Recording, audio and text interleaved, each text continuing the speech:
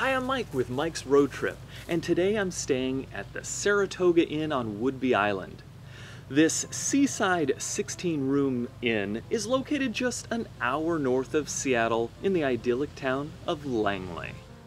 The views here at the inn are simply spectacular. In the background are the snow-capped Cascade Mountains, and the foreground body of water is where the inn's name is derived, Saratoga Passage, which is an extension of the Puget Sound.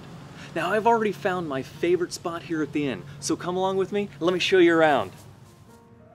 It's the porch, enjoying the views.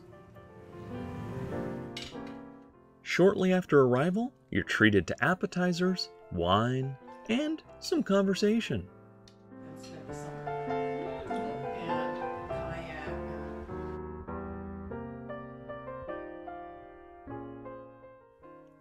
15 of the 16 rooms are fairly similar in decor, with several layout options to choose from. A few rooms have decks facing west, while others have ocean views.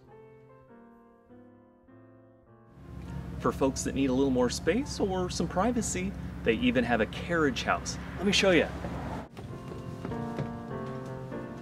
Isn't this wonderful? Beautiful king size bed behind me, this seating area with a fireplace, big screen TV, kitchen, and this romantic bathroom. Let me show you.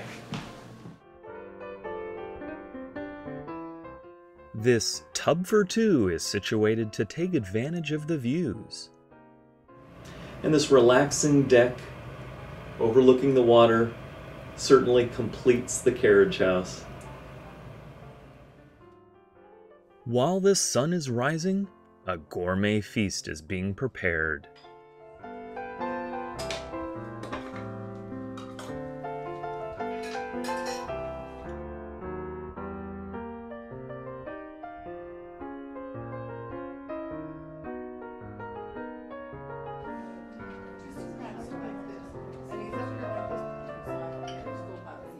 If you have an electric car, you even get a charge out of staying here. That's it.